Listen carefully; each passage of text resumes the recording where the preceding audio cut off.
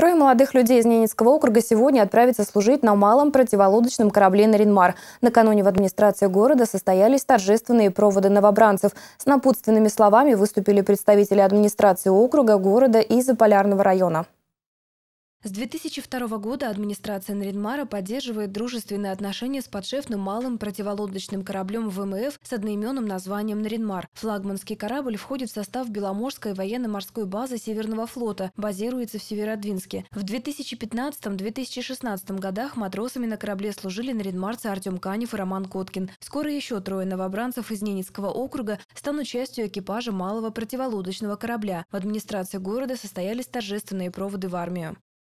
Желаем вам отличной службы в рядах российской армии, а тем более на корабле военно-морского флота.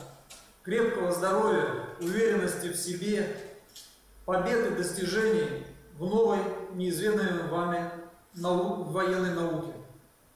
Мы надеемся, что вы будете достойны славы предков, отстоявших честь и свободу в боях за Отечество, продолжите лучшие традиции воинов России – Оправдайте надежды своих близких и будьте достойны звания защитников Отечества.